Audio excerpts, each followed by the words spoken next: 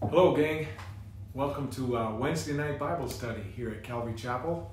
And I'm so glad you're able to be with us here. Uh, we're going to be picking up where we left off last week, and that's in the epistle of uh, 1 John. Uh, we covered chapter 1 last week. Let's go to uh, chapter 2. So, the epistle of 1 John, chapter 2. Before we do that, I'd love to pray with you if we could do that right now.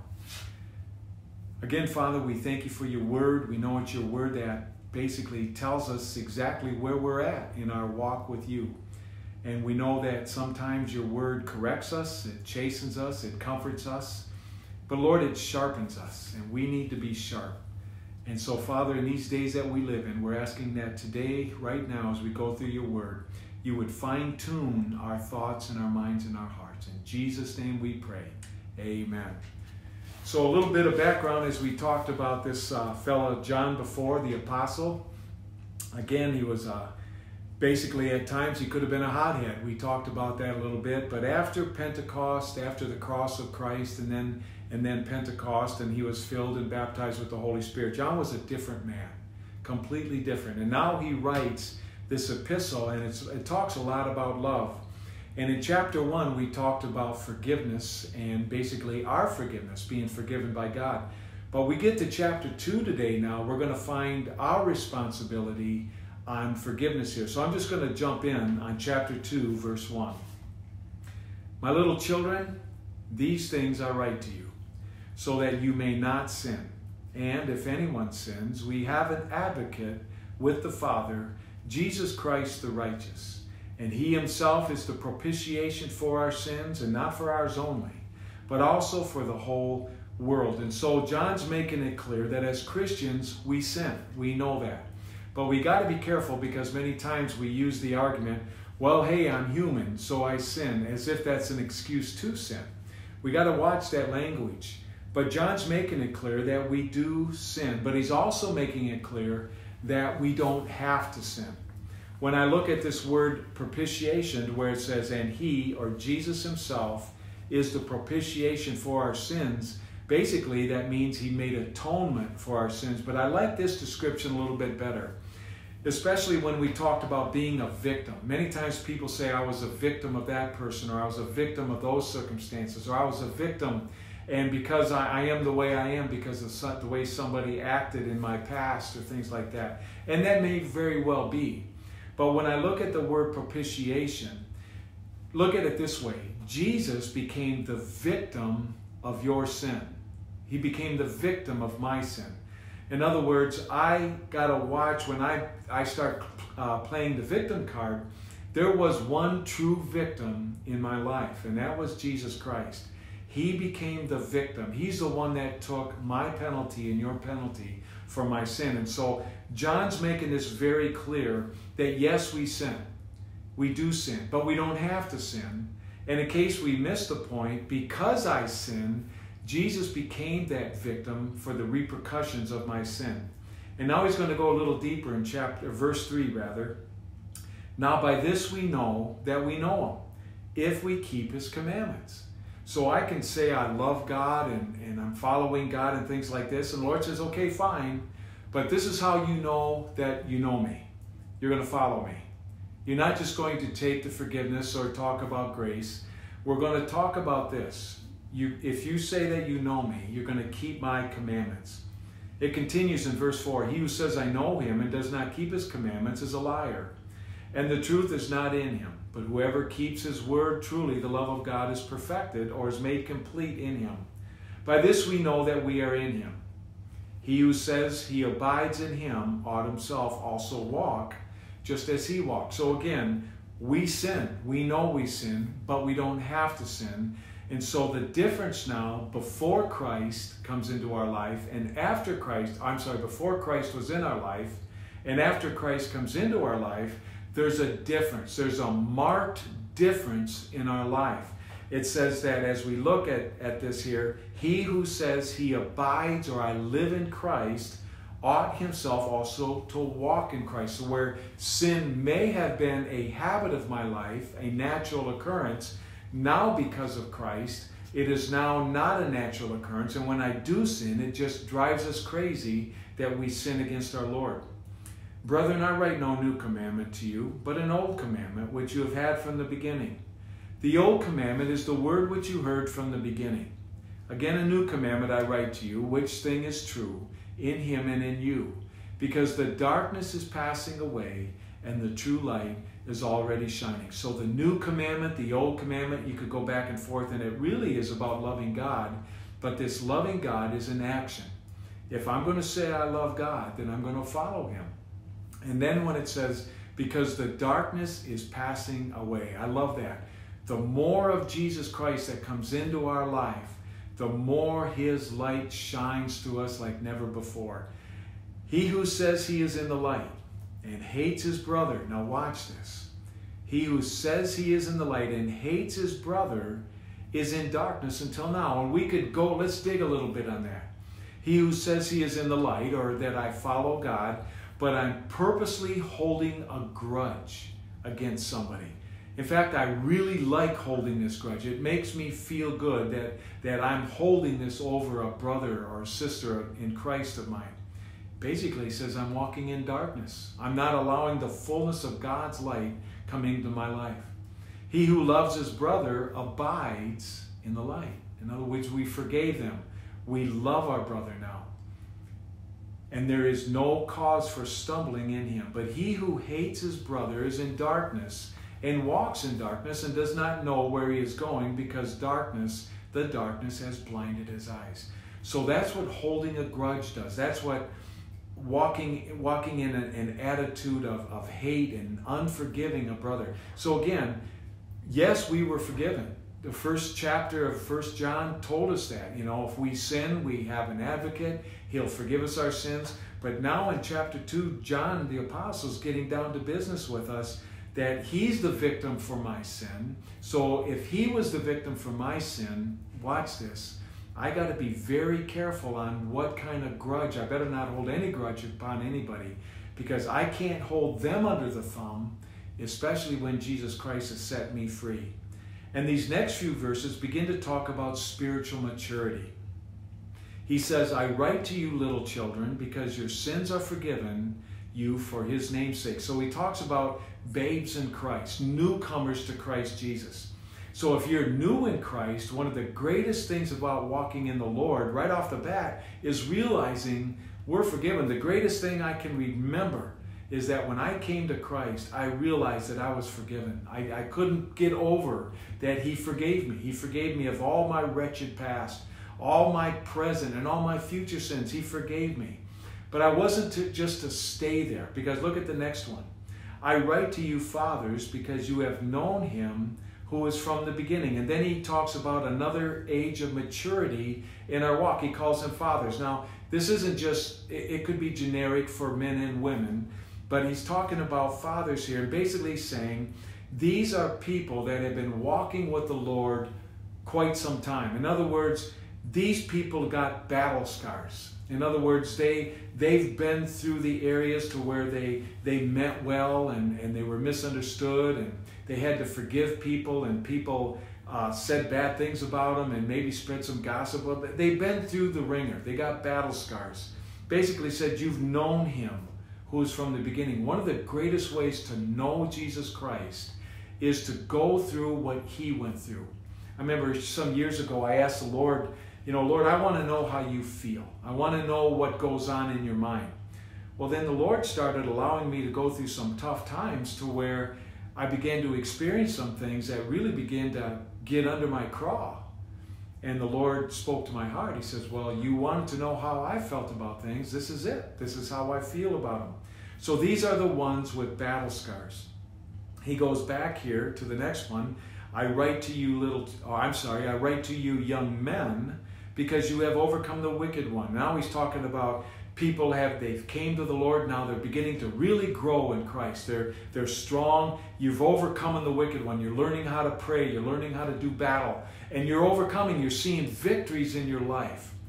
It says i write to you little children because you have known the father and that's a beautiful thing when a person comes to know christ again they've understood forgiveness and then says i've written to you fathers because you have known him who is from the beginning. In other words, these are the oak trees of, of, of, of the faith. They've been around. I, I got certain people in my life. They got a lot of years under their belt.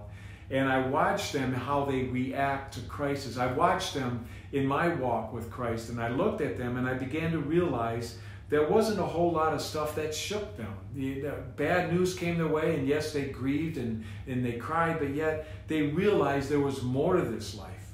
And these were the ones that, that basically were not shaken. These, were the, these guys were the oak trees of faith in my life. And some of them have passed on, some of them are still alive at this point. And then it says, I've written to you, young men, because you are strong and the word of God abides in you, and you have overcome the wicked one. So again, he moves back to the young people who are in Christ, and you're strong.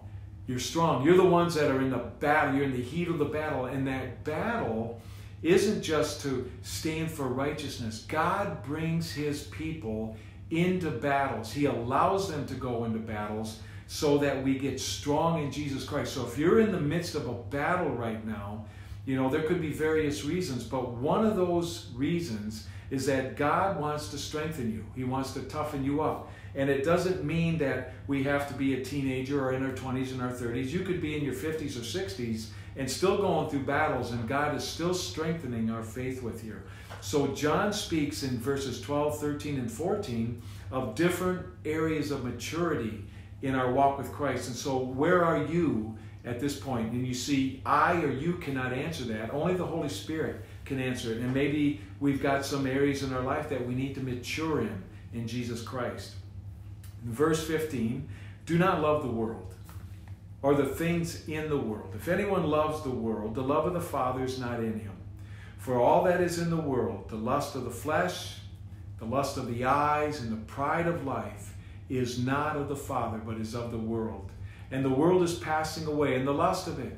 But he who does the will of God abides forever. No, we've talked about the lust of the flesh. and we talk about the lust of the eye. Some of that's pretty evident. You know, we're lusting after the things in the world. It doesn't have to be sexual lust. And the lust of the eyes, we see things that we think we got to have, you know, that make my life complete. But there's one thing that's highly overlooked here, and that's the pride of life. Pride the pride of life. Even the Apostle Paul said, if I'm going to glory in anything, I'm going to glory in the cross of Christ. Now, watch this. The pride of life. Now, I'm, uh, this is this might pick a scab here, and, if it does, that's good. This is where you might do something good. In other words, your intentions are good. You're doing it for the Lord.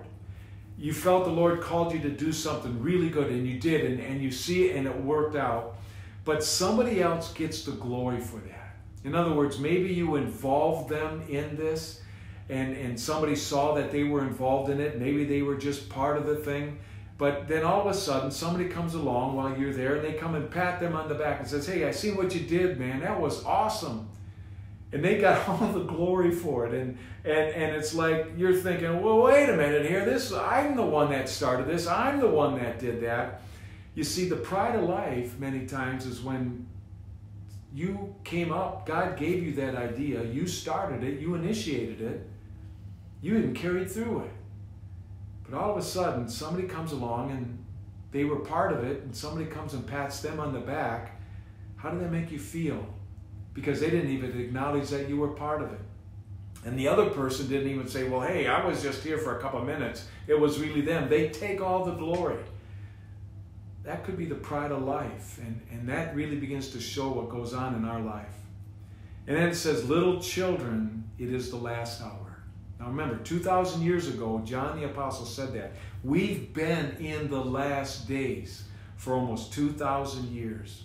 And as you have heard that the Antichrist is coming, even now many Antichrists have come, by which we know that it is the last hour. We're in the last hour. We've been in the last days since Christ left this earth 2,000 years ago, but we are now in the last hour of the last days. And, and, and I'm not going to spend a lot of time on this. And John the Apostle, who, who the Lord used to, to write and pen down the book of Revelation, he knew about this Antichrist, this person that was going to come. Gang, listen to this. Please hear this. This is the last hour. And I could go off on a Bible study Listen, there's so much stuff going on behind the scenes. You know, we're talking about the COVID 19 and everything that's going on right now. And it is a real, it is a real virus. People are dying from it. Please do not mistake that. I, I am not one of those that going to say that it's all fake. It is not fake. I mean, the evidence is proving very, very different right there. But the things that are going on to propagate, to bring this world in line for the last days to get ready for the tribulation period, it is the last hour. And I believe how fitting that John is saying, let's get our garments teamed up here and tuned up in white. It is the last hour. He said the Antichrist is coming, but many Antichrist have already come. In other words, a type and figure of the of the Antichrist has been here. It's been here for over 2,000 years. Remember, Antichrist is just against Christ, is what this is. John goes on in verse 19, they they went out from us, but they were not of us. For if they had been of us, they would have continued with us, but they went out that they might be made manifest that none of them were of us. In other words, they started out good, but then all of a sudden they came up with some whacked out doctrine, something that came against Christ and came against the Bible, and it was a it could have been a feel good message, you know, something that rebuked everything that the Bible said, or maybe even part of it. It says, "But you, believer, he's you." Now, now make this personal. But you have an anointing from the Holy One, and you know all things. I have not written to you because you do not know the truth, but because you know it, and that no lie is of the truth. I want to read this here from uh, the book of Psalms here. How do I how do I understand these things? In Psalm 119, verse 9, it says, How can a young man cleanse his way? By taking heed according to your word. With my whole heart I have sought you. Oh, let me not wander from your commandments. Now, before I finish this, with my whole heart. And this is where John is saying, You know better. You know this thing. Why? Because with our whole heart, are you seeking God with your whole, whole, whole heart? It's been said, I, I had a brother in Christ tell me this a long time ago. Five minutes after the rapture, or five minutes after being in heaven, we're going to wish we had five more minutes on earth to give our all for five more minutes. And then it says, Oh, let me not wander from your commandments. Your word I have hidden in my heart that I might not sin against you. Why did John say that you know better? Because he assumed that the reader of the Bible had God's word hidden in his heart so that when we do things that are out of character of God, then it's going to prick our heart. Remember, we're going to sin, but we don't have to sin anymore, especially if we have the Spirit of God living within us.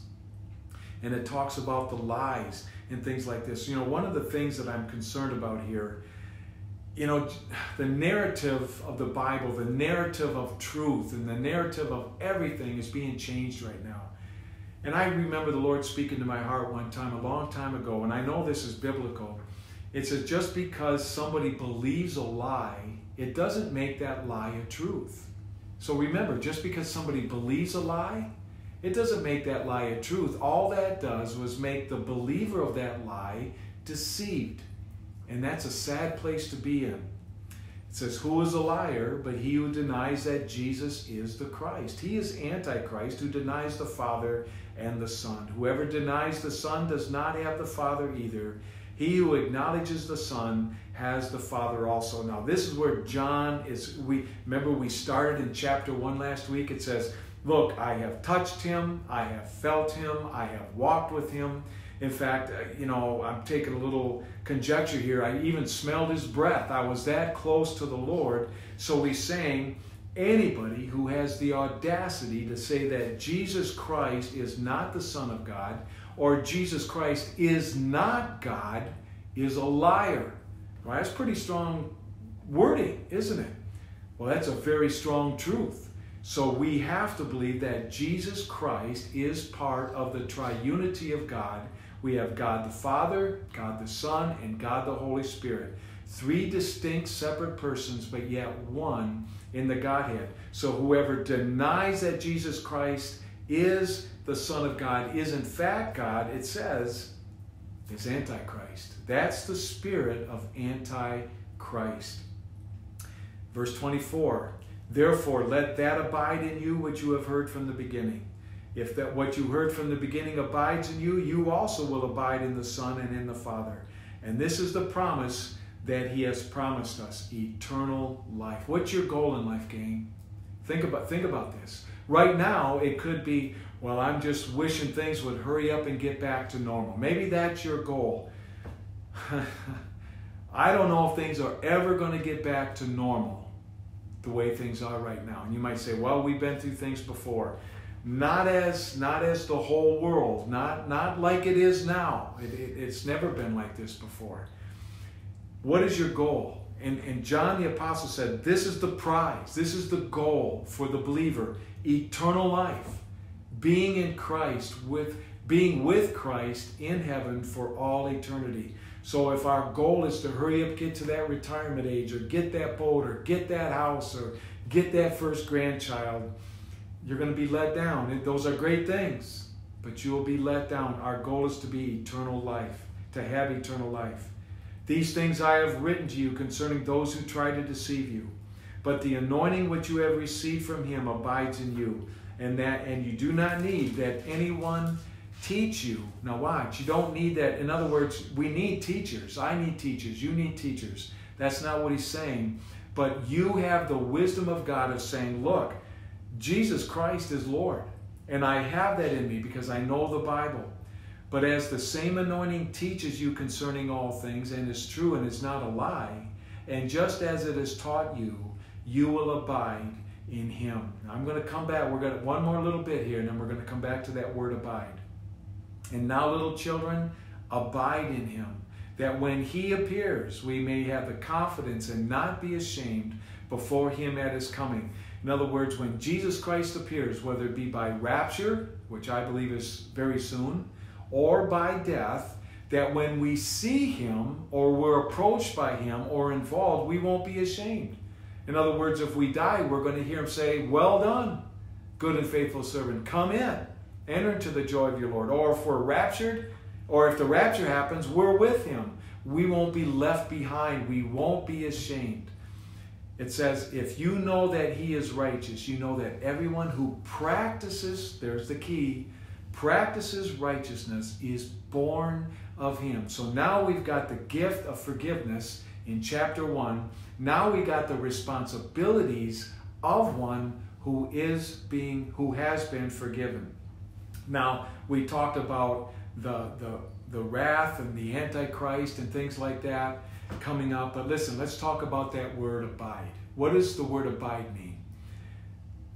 The apple trees are not on the trees right now, but this fall, I, I hope you don't have to wait that long to see this. But in the fall, you'll begin to see apple. You'll see apples on the trees. And what holds that apple to a tree is a little stem. That little stem is attached to a smaller branch, which is attached to a bigger branch, which is attached to the main trunk of that. That apple that is, is abiding, that's the best picture of I know of abiding that I've ever seen. All that apple is doing is staying attached to the tree. Staying attached. You don't find that apple squirming and twisting and trying to swing and say, Oh, I wish I was like that other apple, or I wish I was closer to that apple, or I wish I was closer to this. All that apple do, all that apple is doing is just hanging there just hanging on that limb right there. And when it's time to be picked, the person that owns that apple tree will come and just pluck that apple at the right time and say, This is exactly the way I wanted it to be. Here's the problem with squirming and trying and striving in life.